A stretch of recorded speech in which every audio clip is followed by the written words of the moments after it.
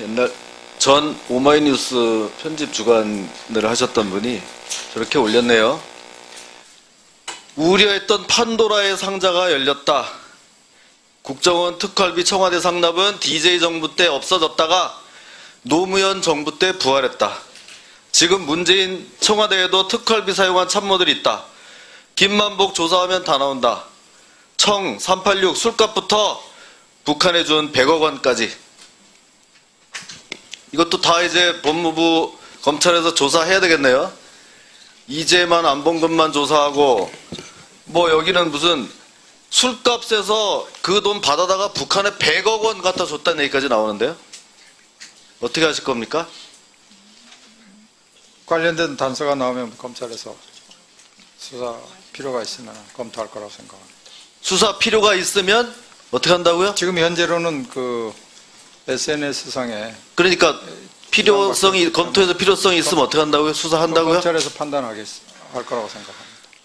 그 이제 이- 이런 거예요. 뭐든지 막 잡아놓고 싶잖아요. 뭐 이재만이 됐건 안봉근이 됐건 뭐 탈탈 털다 보니까 이제 뭐 하나 나오니까 이제 붙잡아다가 이제 영장 청구하는데 이게 이제 부메랑이 돼서 다 돌아오는 거예요.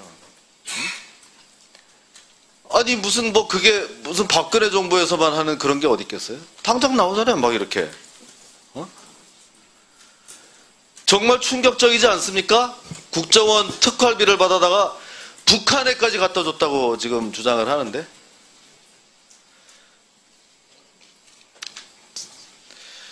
그 강원랜드 사건 좀 한번 하세요. 뭐 공공기관 무슨 채용 비례다 해가지고 국감 내내 그냥 그 얘기를 했는데요.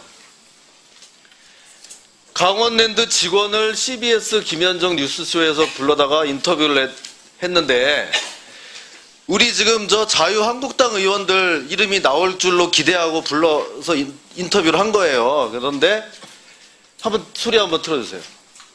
때는 금품이 오갑니다. 저도 실제로 그 국회의원 그 보좌관이 청탁을 하는 걸 현장에서 목격을 했거든요. 아, 어느 당 소속이었는지는 말씀해 주실 수 있어요? 그 당시 뭐 여당 이런 식으로? 지금 민주당입니다. 지금의 민주당? 네네. 거의 예, 저 뒤로도 더 나오는데요. 깜짝 놀랐을 거예요, 아마. 어? 그럼 이제 저런 것도 해야 되는 거예요, 다. 다 이것저것 다 해야 되는데, 뭐 적폐 청산한다 그러면서, 어, 구 여권 그것만 드립다 파니까, 그게 정치보부가 아니고 뭐예요, 그러면. 똑같은 일을, 어, 더, 더 많이, 더 나쁘게 한 사람들은 그냥 어, 눈 감고 넘어가고. 지금 야당만 그냥 드립답하고.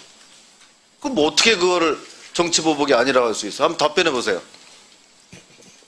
어, 그 부분에 대해서 좀뭐 여당이라고 해서 혐의가 있는데 뭐 봐주거나 하는 일은 없을 거라고 생각합니다. 아, 그래요? 안 봐, 안 봐주실 거죠? 네.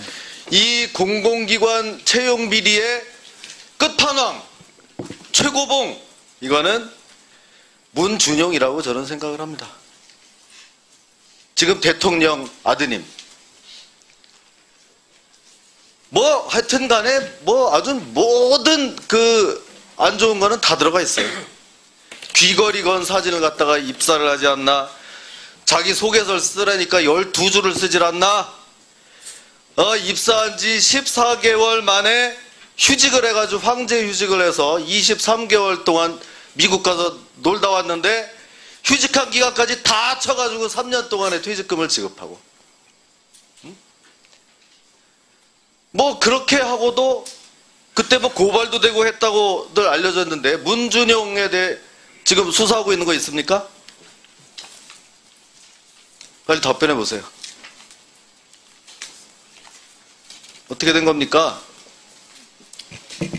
문, 문주종 관련해서 지금 그 고발 건수가 여러 개 있습니다. 있죠? 예, 예. 그래서 그 철저히 수사를, 수사해야 되겠죠? 수사를 진행하고 있- 있기 때문에 밝혀질 거라고 생각합니다.